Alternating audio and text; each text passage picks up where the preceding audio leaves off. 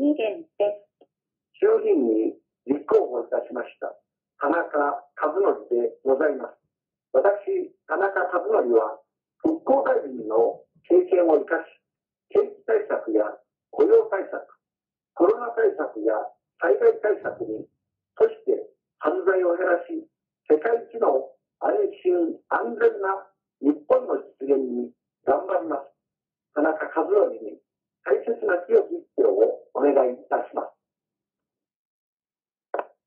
10月22日午前10時11分です。この働きで3人の子供を育てる私、金村優奈は、14年前に地元川崎の国会議員秘書として、課題と向き合い、障害児の児童福祉施設を立ち上げました。金村優奈は、古い政治を新しい政治に、政治の世代交代を実現します。私、金村優奈に、皆様の一票を託してください。日本維新の会、金村優奈に投票していただきますよう、よろしくお願いいたします。